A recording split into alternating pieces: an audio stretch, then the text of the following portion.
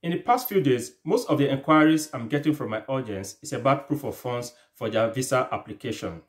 Yes, I understand the fact that most of my audience are from Africa, most especially Nigeria, and with the latest unification of the exchange rate, it has caused exponential increase in the exchange rate, and this has caused panic and concern within so many quarters about what will be the fate of their visa application. As you all know, for you to be able to apply for your studied visa or skilled worker visa, if your employer did not satisfy maintenance, you need to show proof of funds. And with the fluctuation of the exchange rate, it's actually causing a concern to so many persons because that might actually affect them because some of the reasons for visa denial, it's insufficient funds. If you don't have enough funds, no matter how small the differential is, it can actually affect your visa application. So guys, those are some of the things I'll be talking on this video.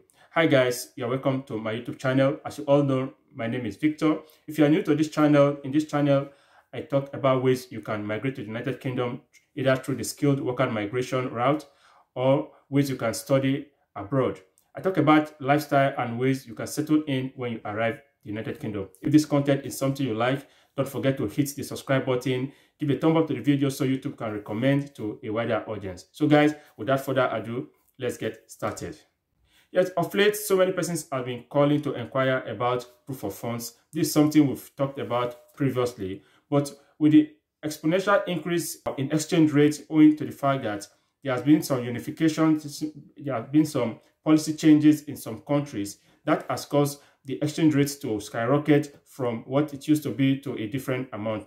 Two weeks ago, the exchange rate was about, most of the exchange rate from naira to pounds was about 500 something naira to a pound. But as of today, it has increased up to 800 and something, about 830 something naira to a pound within the space of two weeks. So this has caused concern to so many persons because you know one of the reasons for visa um, denial it's insufficient funds. No matter how small the differential is, that can affect your visa if you don't have up to that amount. So in this video, I will explain how you can guide against visa denial as a result of insufficient funds.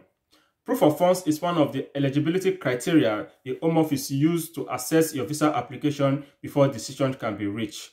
As you all know, for you to be able to study in United Kingdom, you need to show proof of funds that you'll be able to meet up your school, your balance tuition fee, and your upkeep here in United Kingdom. And if you're coming in as a skilled worker, if your employer did not certify maintenance in your certificate of sponsorship, you will need to also show a certain amount that you can use to take care of yourself for the first one month of your employment. And for students, if you are coming to the United Kingdom to study, depends on the region that you'll be studying. If you are studying within London, there's a certain amount you need to pay, you need to show as a proof of funds for your maintenance, while for those studying outside London, there's a certain amount you need to show for your maintenance. So now, if you are trying to apply for your visa, preparing to apply for your visa, you need to show you have a certain amount for your maintenance and balance of your tuition fee for a minimum of 28 days. So this amount will be paid into an account and it will be there for a minimum of 28 days before you can generate your statement, upload with other documents to apply for your visa. These are some of the things the Home Office will go through to be able to give decision for your visa. So now with the fluctuation of interest um, rates within some region, this has caused some concern for so many persons. Take for instance, at the time you start your uh, proof of funds, the exchange rate is 580 pounds to a naira or whatever currency you are using.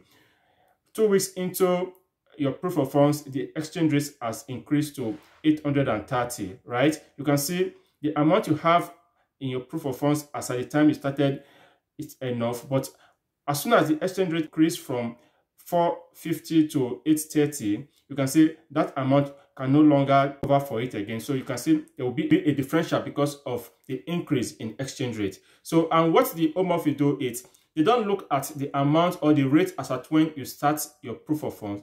They look at the rate as at when you submitted your application, as at when your application is being assessed. What is the rate as at that time? The Home Office use the rate as at the time your application is being assessed. So if you are making a, a proof of funds for a visa application, I will advise you add a little extra that can cover up for the exchange rate differential in the event that there's an increase in the rate from your local currency as at the point you are applying for that visa, it will not affect your visa. With this interest rate increase, you need to up whatever amount you are using to show as proof of funds from the inception. What I would advise those from Nigeria that are planning to come to another kingdom uh, for study, that are trying to build their proof of funds for visa application, make sure the amount you are showing as proof of funds from the inception is one and a half the amount so that that can be able to take care of the interest rate differential because as it is now the rate keep going up by the day within the space of two weeks the rate has increased almost 325 times so guys so if the amount you are showing for proof of funds it's supposed to be 12,000 pounds i will advise you increase it with your local currency to a minimum of 16,000 to 17,000 pounds so that in the event the exchange rate keep going up, it will not affect your, your proof of funds. Note, if at the time you started your, your proof of funds, the rate at which you used to calculate it, it is okay, and two or three weeks into your proof of funds, there's an increased rate, right, that has caused the amount you've used in starting your POF to drop below the threshold, that can result to visa denial. Take for instance, if at the time you started your POF, the rate you use in calculating it, it's 15 million naira in 15 million in naira.